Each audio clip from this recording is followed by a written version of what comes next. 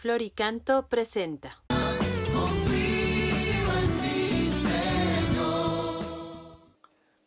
En el nombre del Padre y del Hijo y del Espíritu Santo. Amén. Palabra de vida del Santo Evangelio según San Mateo capítulo 11 versículos del 25 al 27.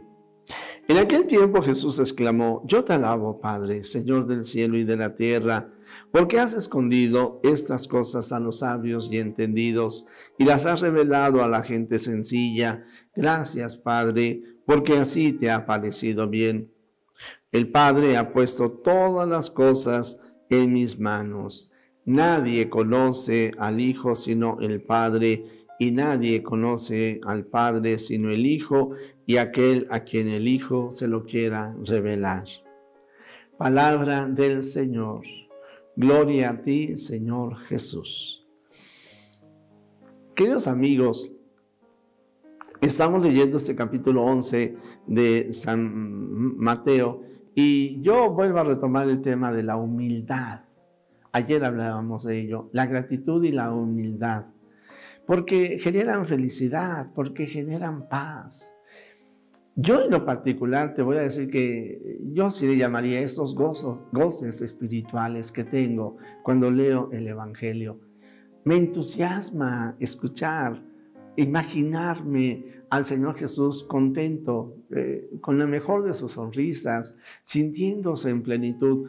Eh, ha visto a sus discípulos, ellos vienen contentos de haber anunciado el Evangelio, de haber visto cómo hay personas que su vida cambia, transforma, porque han escuchado la buena noticia que es Dios te ama. Y entonces el Señor Jesús se llena de júbilo y hace esta bellísima oración. Yo te alabo, Padre, y te bendigo, porque esto se lo ha revelado a los pequeños, a los sencillos de corazón. Cuando somos sencillos, definitivamente, yo insisto, tenemos estas alegrías.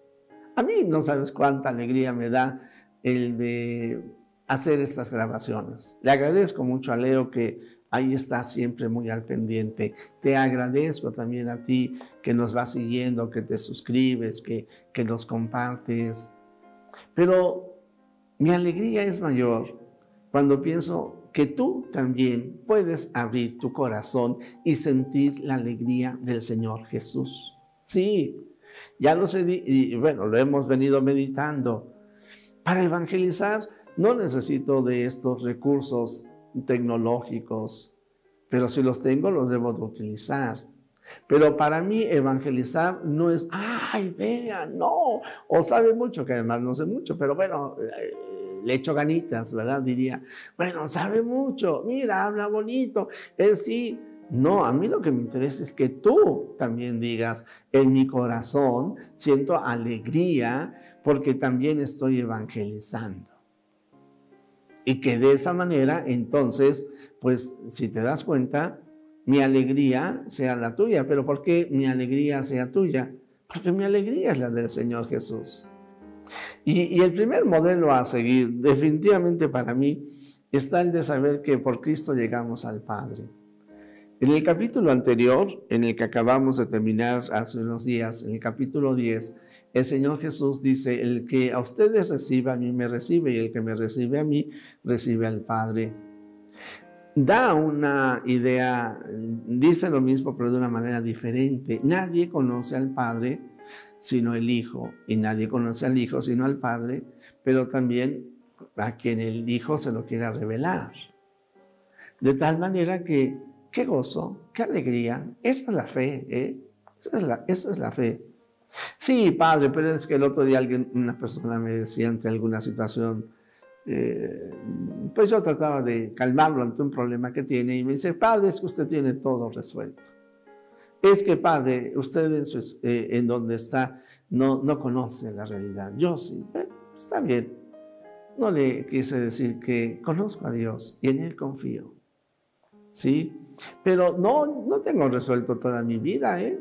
Eh, ¿eh? la semana pasada me operaron y al igual que todos, pues de repente tengo que ir al doctor y luego también tengo problemas económicos y luego pues también tengo empleados, oye, pero tengo familia, mi hermana, mis hermanas, en, en fin, pues es que en la vida hay problemas, pero constantemente nosotros los cristianos decimos sí, pero también está Dios.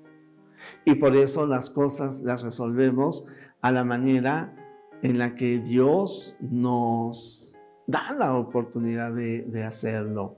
E, e, en, estos días, por ejemplo, bueno, la semana pasada estuvimos eh, meditando en la primera lectura del Génesis la vida de José, al que llamamos José el Soñador. Eh, qué vida tan llena de infortunio, pero qué joven. Y lo digo porque era un niño cuando fue vendido como un era un adolescente cuando fue vendido como un esclavo. Y luego lo vamos a ver creciendo con muchos problemas y dificultades, manteniéndose fiel a Dios, llegando a ser el segundo del faraón y teniendo la alegría de ver a su padre y corriendo a verlo, al padre ya anciano, del cual había sido separado. Bueno, pues para mí esa es una imagen bellísima porque me habla de lo que yo considero que será un día mi encuentro con Dios, el día que yo me muera. Aquí amo a Dios, pero cuando muera lo veré cara a cara, iré corriendo a abrazarlo. Sí, querido amigo, el cielo motiva la vida del creyente.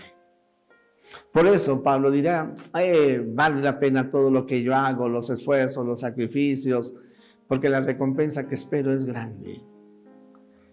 Pablo está motivado de la mejor manera, tiene la motivación más grande de la cual el Señor Jesús nos habla. No atesores aquí en la tierra, donde el ladrón puede robarse las riquezas o el moho destruir, el destruir cualquier eh, fortuna